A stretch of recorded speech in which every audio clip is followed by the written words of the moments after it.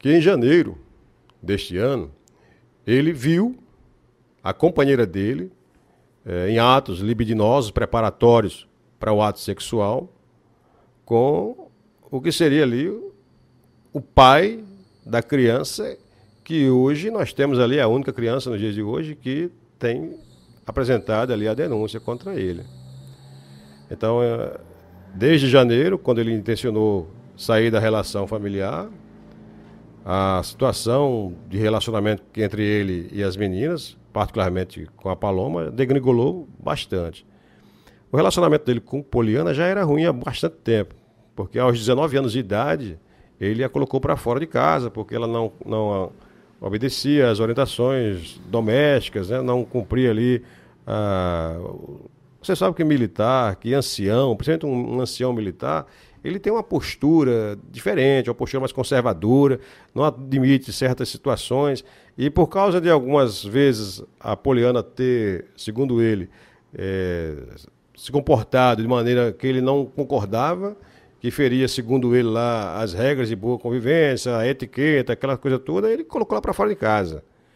E acho que isso talvez tenha sido uma coisa que a, a mãe dele, a mãe dela, né, a esposa dele, não deve ter, é, de um primeiro momento ali, achado errado. Tanto é que a relação familiar continuou normalmente, sem a presença de Poliana dentro de casa. Então, é, realmente havia essas divergências ela alega que o senhor teria feito ameaças a ela quando entrou no caso.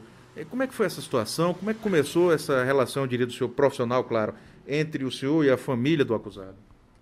Foi muito bom, Alexandre, você fazer essa pergunta, porque, veja bem, no sábado, no sábado eu fui chamado pelo WhatsApp, pela sobrinha do senhor José Pierre, a Priscila, é, a Priscila me ligou e disse que haviam invadido a casa do tio dela, a casa José Pierre.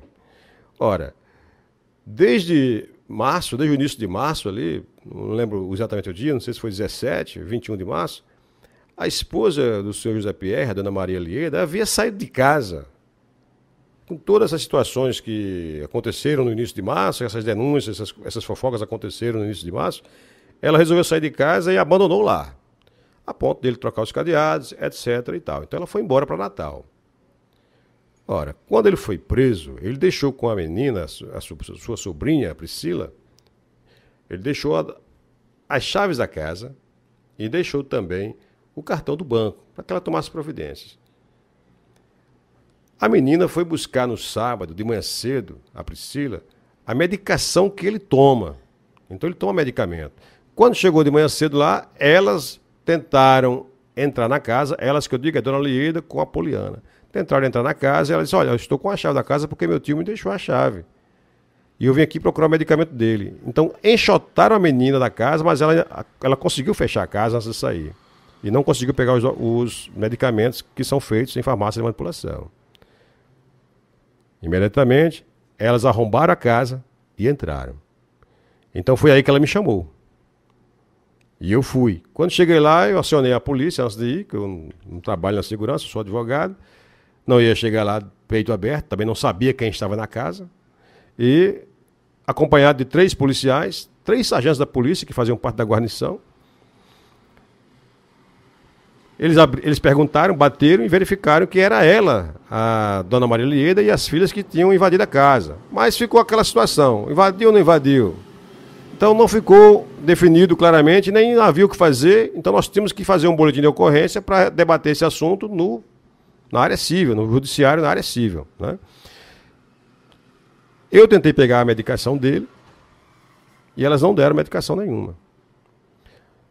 Na mesma ocasião, quando fiz o boletim de ocorrência, que está aqui à nossa frente, né? um boletim que foi aberto no dia 3 de abril, uh, logo em seguida, eles pegaram, disseram que estavam dispostos a entregar a medicação. Então, novamente, chamei a guarnição de polícia, fui até lá para me respaldar. E fui com os policiais pegar a medicação.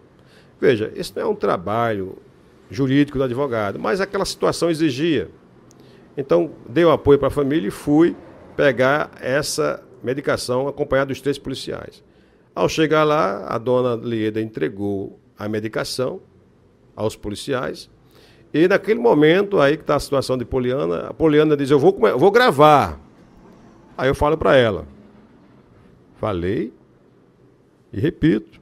E disse isso ontem também ao delegado. Digo: Olha, você pode gravar, mas faça bom uso dessas imagens, porque se ferir a minha dignidade ou a minha moral, você vai pagar por isso. Evidentemente que essa ameaça de quê? De nada. Isso aí simplesmente significa que ela vai pagar num processo judicial se extrapolar os limites da dignidade, os limites da moral que tem que ser observado em qualquer publicação, seja na mídia sociais, seja na mídia de imprensa. Né? Então, não há ameaça nenhuma. O que existe, na verdade, é uma tentativa de manipulação para isso. Ela fez um boletim de ocorrência contra a minha pessoa, alegando essas coisas, que, na verdade, vai correr normalmente. No final, quando houver um relatório do delegado, que tenho certeza que será favorável à minha pessoa, no sentido de reconhecer que não houve ameaça nenhuma, e você veja só, é, Alexandre, se eu tivesse ameaçado ela diante de três policiais, três sargentos da Polícia Militar, homens preparados, qual seria a atitude correta desses policiais? Prender-me em flagrante delito. Isso não aconteceu, por quê? Porque não houve ameaça nenhuma. Inclusive, eu saí antes dos policiais. Eu saí antes dos policiais. Eles foram muito profissionais, da maneira, em todo momento que me atenderam. Todo procedimento. Mas foi, então foi isso que aconteceu. E, na opinião do senhor, existe então uma tentativa, é, vamos dizer assim, não sei se de um golpe ou de tomar do senhor Zé Pierre o seu patrimônio? Existiria, na opinião do senhor, na opinião da defesa dele, essa tentativa de tomar o seu patrimônio, já que houve essa série de divergências familiares no decorrer dos anos? Olha só, as divergências começaram agora em 2020. Para você ter uma noção, nós sabemos, nós temos é, várias imagens de, do Facebook de Paloma, do Facebook que ela apagou, né? Mas essas algumas imagens estão salvas na, em alguns familiares e nós estamos agora tentando, vamos pedir uma, a, ao policial, a, a, nossa polícia civil, se não for o caso, vamos pedir na, na justiça que o Facebook seja intimado para resgatar todas as imagens do, do antigo Facebook de Paloma, no qual haviam várias imagens e declarações dela ao senhor Pierre, até recentes, né, como uma relação saudável, uma relação familiar bastante tranquila. Então nós estamos pegando essas imagens, se Deus quiser, muito em breve. Então essa, essa, essa, essa grande discordância familiar aconteceu recente. Recente, depois, eu gosto de frisar, depois, como o senhor Pierre falou, depois que ele flagrou a esposa em atos libidinosos dentro de casa com o pai da criança que hoje é a suposta vítima. E assim, no nosso, no nosso entendimento, até dentro daquilo que o, doutor, o senhor Pierre falou, o interesse em, em tomar posse de todas as coisas dele. Ora, veja, quando ele se separou, se, quando ele se decidiu se separar da mulher, agora em janeiro, ele procurou o documento da casa e não achou. Não achou o documento da casa. Finalmente, depois de, de procurar, não lembro se foi no cartório ou coisa parecida, ele conseguiu para mim uma cópia aqui da, da, da, desse documento da casa. Ele finalmente veio perceber, descobrir que a casa foi transferida para dona Lieda. Ele, quando comprou a casa, pagou à vista, resultado de um empréstimo que havia feito, mas ele não passou para seu nome em cartório. Ficou só naquele contrato de gaveta, aquele contratozinho que faz o recibo. E o dono da casa, a pedido de Lieda, passou a casa para o nome dela. E é interessante que nesse contrato, né, nessa escritura, ela se apresenta como viúva, desculpa, como divorciada. Divorciada do primeiro casamento. Não faz referência nenhuma à união estável que eles têm desde 2007. Então, no nosso entendimento, há sim uma intenção de, com isso, é, conseguir a casa conseguir os imóveis dele, conseguir atacar o patrimônio do ancião. Obrigado pela participação do senhor. Também, se o senhor já tenta o relaxamento de prisão, em que pé está essa parte da defesa? Nós fizemos um pedido de transformar, né, de converter a prisão preventiva em prisão domiciliar.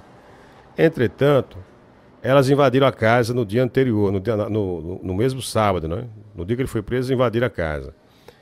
E o próprio Ministério Público concordou com esse pedido da defesa. Mas o magistrado, ele não concordou. O magistrado não concordou, mesmo sem ter elementos novos, ele não concordou. E, entretanto, conversando com o seu Pierre, nós não vamos recorrer desse, dessa decisão por enquanto. Por quê? Porque o próprio senhor Pierre está com medo.